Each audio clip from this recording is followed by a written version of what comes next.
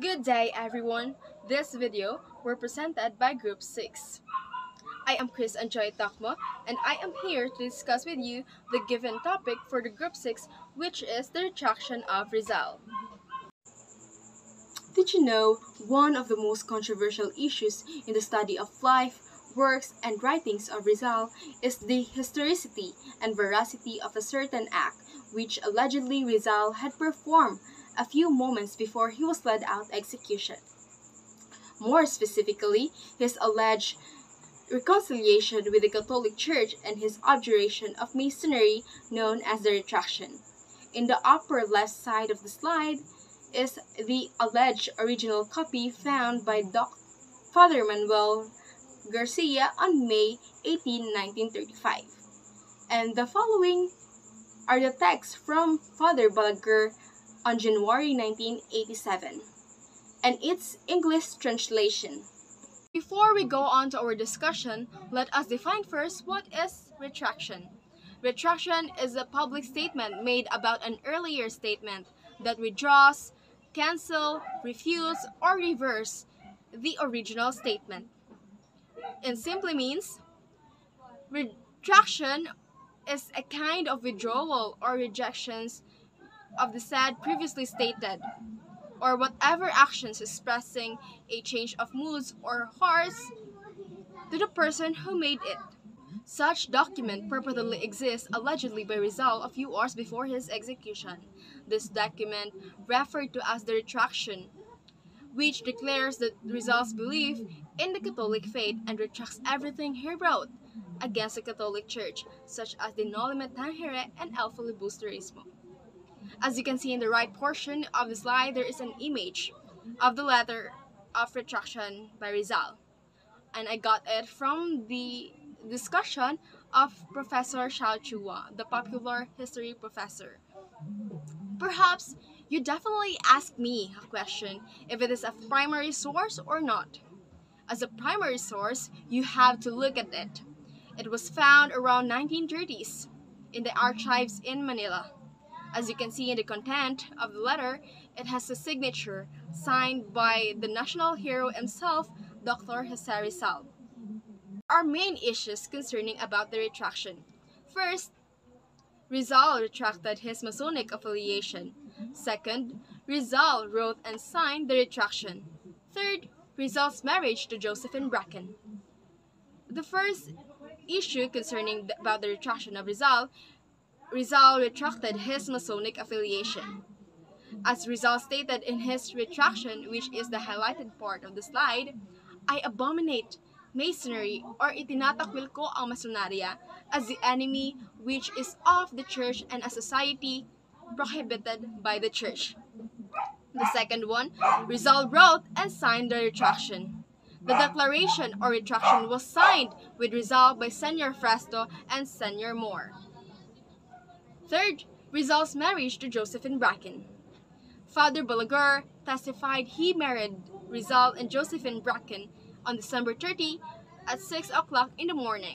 In 1896, on December 29, the day before Rizal's death, that sentence was read to Rizal early in the morning.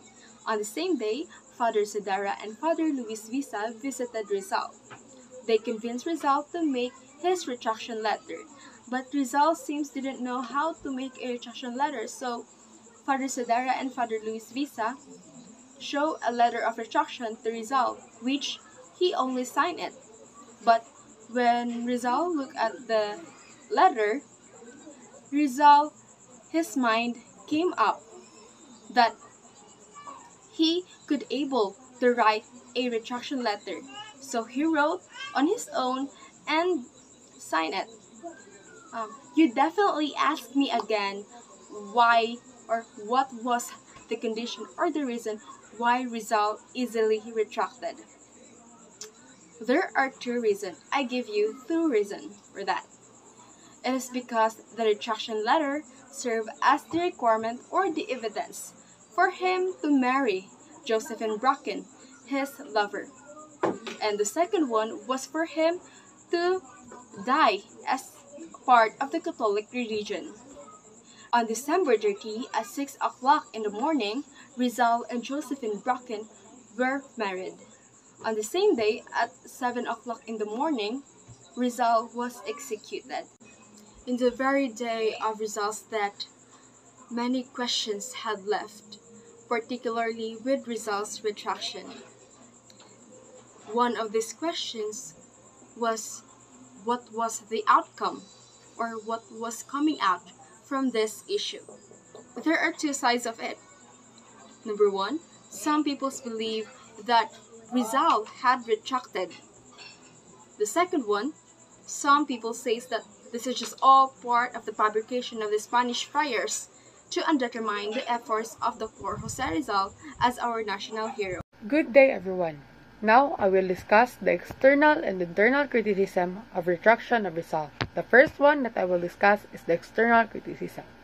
It was said that there are four different versions of Rizal's retraction that had surfaced.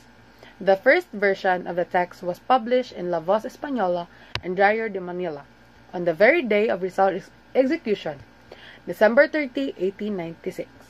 The second one came from anonymous writer who revealed himself Years later, as Father Balguer, it appeared in Barcelona, Spain on February 14, 1897 in the fortnightly magazine in La Juventud. The third one that was said to be the original text was discovered in Archdiocesan archives on May 18, 1935 after it, after it disappeared for 39 years from the afternoon of the day when Rizal was shot. The fourth text appeared in El Imparcial on the day was on the day after Rizal's ex execution. It is the short formula of retraction. Father Balguer said he had received an exact copy of the retraction written and signed by Rizal. The handwritten of this copy I don't know nor do I remember who it is. And even I suspect that it might have been written by Rizal himself. It was somehow made by a copyist who could imitate Rizal's hand, handwriting. The, the, exact the exact copy had been received by Father Balguer in the evening immediately preceding. Also, the internal criticism. These are the differences among the original and the Manila newspapers texts of the one instruction on the one hand and the text of the copies of Father Balguer. First, instead of the words mi calidad, with you, which appear in the original and the newspaper text, the Jesuits' copy have mi calidad. Second, the second Jesuits' copy of copies of the retraction omit the word Católica after the first iglesias, which are found in the original and the newspaper text. Third, the Jesuits' copy of the retraction add before the third iglesias the word mesma, which is not found in the original and the newspaper text of the retraction. Fourth, the Father Balguer text does not begin the second paragraph until the fifth sentences, while the original and the newspaper copy starts the second paragraph immediately with the second sentences. Fifth, whereas the text whereas the text of the retraction in the original and the in the original the Manila newspaper have only four commas. The text of Father Balguer copies has 11 commas.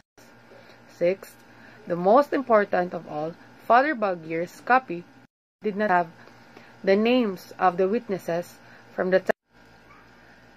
The exact copy was shown to the military men guarding in Fort Santiago to convince them that Rizal has retracted. Someone read it aloud in the hearing of Cap Dominguez, who claimed in his notes that Rizal read aloud his retraction. However, the copy of retraction had differences from the original. Cap Dominguez has Cap Dominguez never claimed to have seen the retraction. He only heard. The retraction of Rizal in terms of types of publication is under the journal. A journal is something you record of daily occurrence or of or of your ideas or it might be a publication that deals with a certain field or sector. As a journal, it is considered as unpublished and written. Unpublished because the materials in print or digital from that has not been produced for mass distribution, marketed or distributed to the general public, although this might be cited and shared through informal networks. Hello everyone, I am Marfer Toledo and the question assigned to me is that does the retraction of Rizal can be found in any repositories? Well, the answer is yes. The one who found it was Father Manuel E. Gracia at the Catholic Hierarchies Archive in Manila. The document only surfaced for public viewing on May 13, 1935. The original text was discovered in the Art Archdiocese Archives on May 18, 1935. After it disappeared for 39 years from the afternoon of the day when Rizal was shot. In 1935, a controversial document was found and the letter dated December 29, 1896.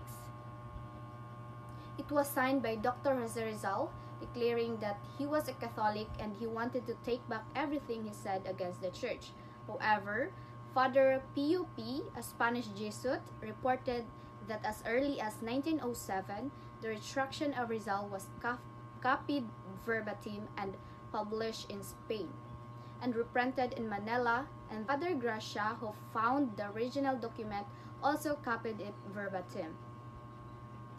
And now, the question for number 8. Good day everyone, I am Nessajane E. Tabieros and for today's discussion, I will going to compare and contrast the contradictory and retraction of Rizal. We have the two arguments about the retraction of Rizal. These two arguments are very questionable, especially to every Filipino now and then. There is one issue in Jose life that historians have debated on several occasions, but remain unsettled. That issue is whether Rizal, on the his death, re-embraced the Catholic faith and disassociation himself from Masonry. Others say that yes, Rizal retracted. This was done along with his profession of faith as a requirement to marry Josephine Bracken. So they say that Rizal retracted because the church would not allow his marriage to Josephine Bracken unless he retracted his Masonic affiliation. So the catch here is that if Rizal and Josephine Bracken are married, means Rizal retracted. But if not, Rizal didn't retract.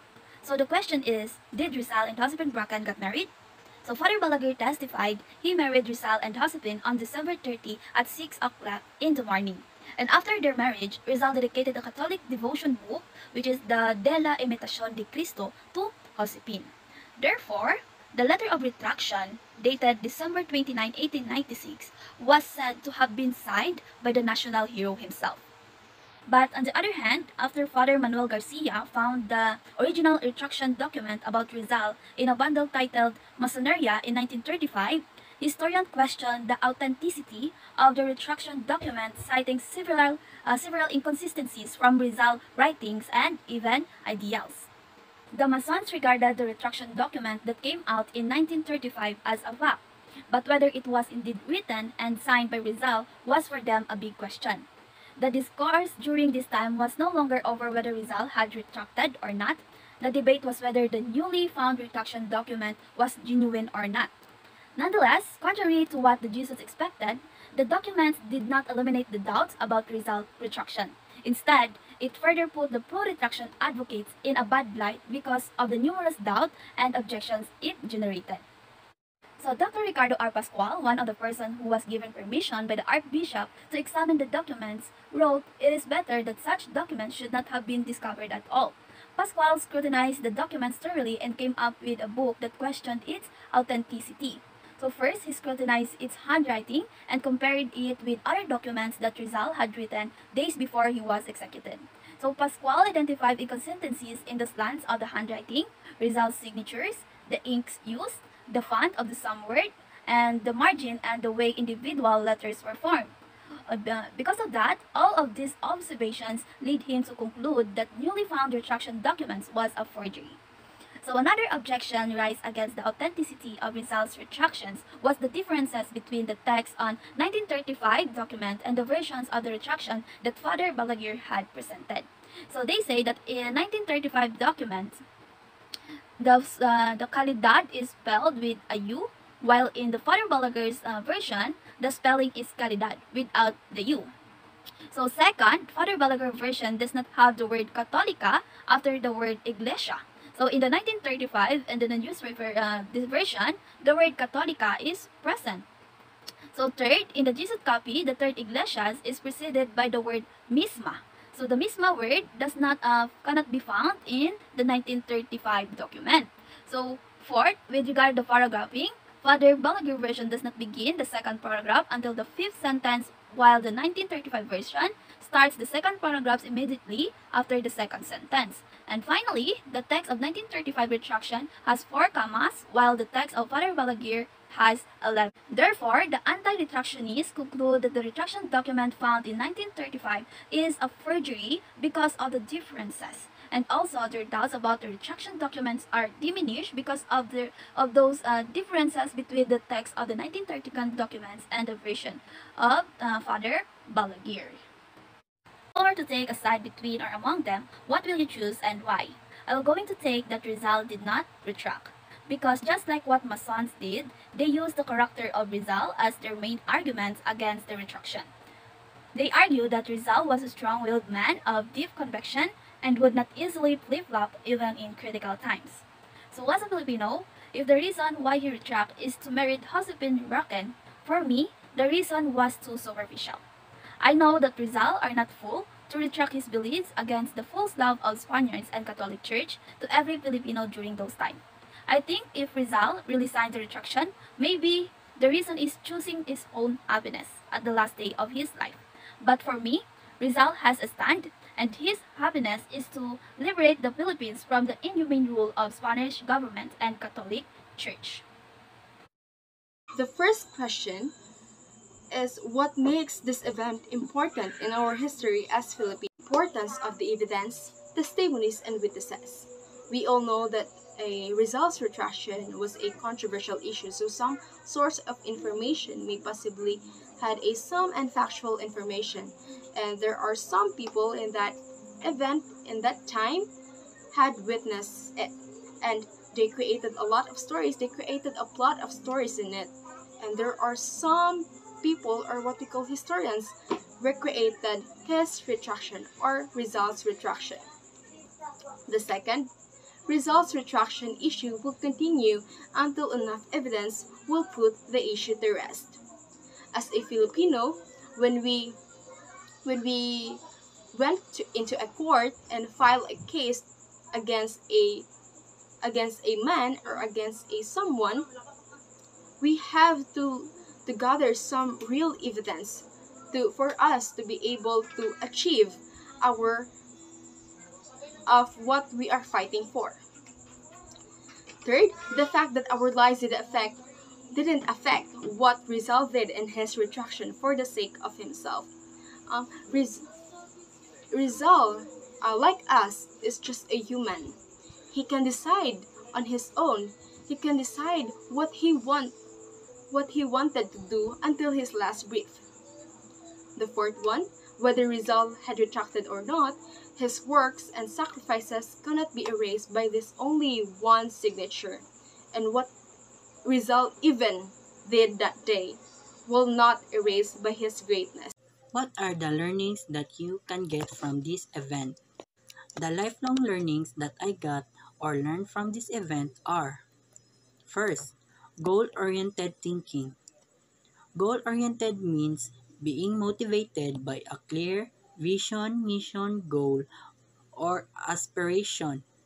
Just like Rizal who saw independence for fellow Filipinos as his ultimate goal.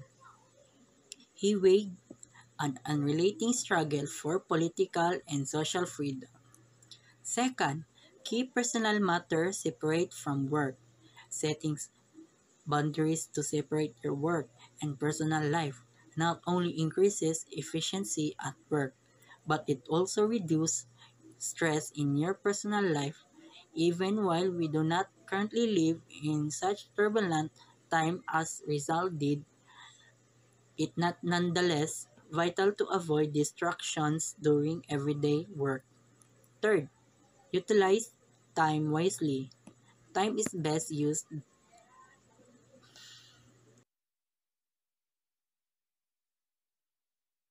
giving has certain benefits.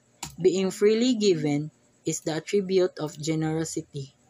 Giving something of yours to another person out of a sense of free will and obligation is referred to as generosity. Rizal gave his lifetime for the Filipinos and for the country Philippines.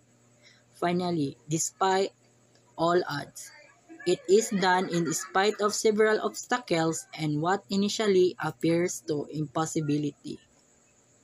Against all odds, Rizal finished his writings and continued to fight through pen even his life was in danger. Choose one person, character, or place from event. So I choose Rizal as one of the character that can be a good influencer and can be a great pattern in our generation today. Now, how will Rizal influence our young people and other citizens of our country? Well, if we read his life story, he was very brave and courageous even though he carried no arms. We don't need to kill people to revenge or to protect someone. Our simple action will create big contribution. We young ones must not be blinded unto reality. And knowing that he is courageous and brave, what can we get from his life is that in our situation today, whatever may the challenges comes in our life, go and find a way how to resolve it and how to correct our wrongdoings. For it is not too late. Truly, he is a good example to us young people. He is matured enough to think bravely, and every decision we take must be made wisely. Rizal was the hero who courted death to prove to those who deny our patriotism that we know how to die for our duty and our beliefs.